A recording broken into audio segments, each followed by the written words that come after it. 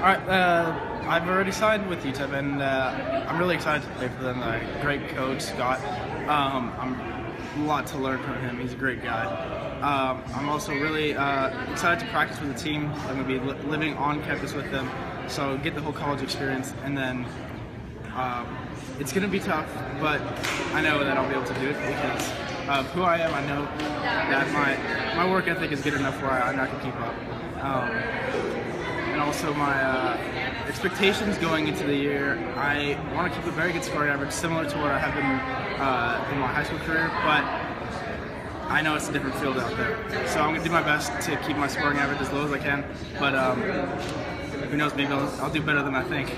Um, and my senior year was all right. It was pretty, it was a journey. It was great. I loved it. My team, uh, great guys on my team right now.